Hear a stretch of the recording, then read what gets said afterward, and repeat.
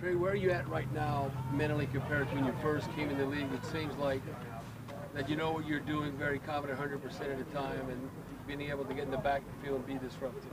Uh, I think there's a growth like uh, in the NFL from obviously from your rookie year, second year, third year. Um, I take uh, every season the same, you know, mentally and physically. So uh, not much has changed. It's just you know I've seen more and I've done more. How did you uh, how did you personally handle that last year when, when you were the you know, healthy scratch for, for a big chunk of time there? Uh, you know, how, how do you Sure, I'll ask the first question.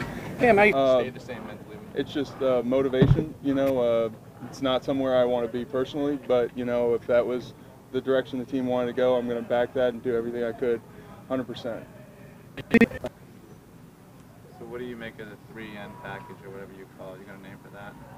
Uh, it's basically just three end package, and uh, yeah, I, I enjoy rushing out there with Cam, uh, Big O, and Marcus. You know, very talented guys, and we work off each other.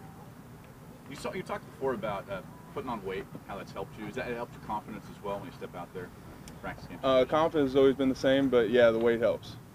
How much have you added again? Uh, maybe like five pounds ish. So yeah, 270 feels good. Trey, you said something the other night about how you were going to make sure this year that you left nothing to chance. Um, obviously, we've seen you going 110 miles per hour, you know, from the very first practice when you got here. But was there anything specifically that you thought you needed to do more or better this off season that, that you wanted to concentrate on? Well, like I said, I kind of work the same every offseason, but you know, uh, there's good communication with the coaches on what they wanted, and uh, I'm here to do my job.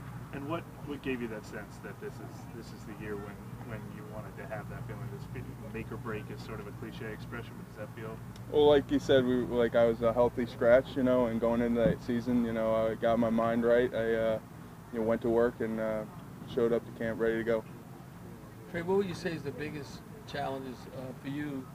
What comes more natural, rushing the passer or, uh, or playing against the run, or where are you at right now? Right now, whatever they need me to do, I'm going to do it. So you're confident both uh, being a run stopper and rushing Yes, sir. So when you say there's good communication with your coaches, can you give us some uh, examples of what that entails? Uh, what they wanted me weight-wise and uh, what they were looking for in me going to this uh, season. That's about it. Or in terms of production or, or something else? Whatever they need me to play on, if it's first down, second down, third down, or kickoff. All right, thanks, Thank you. Thank you.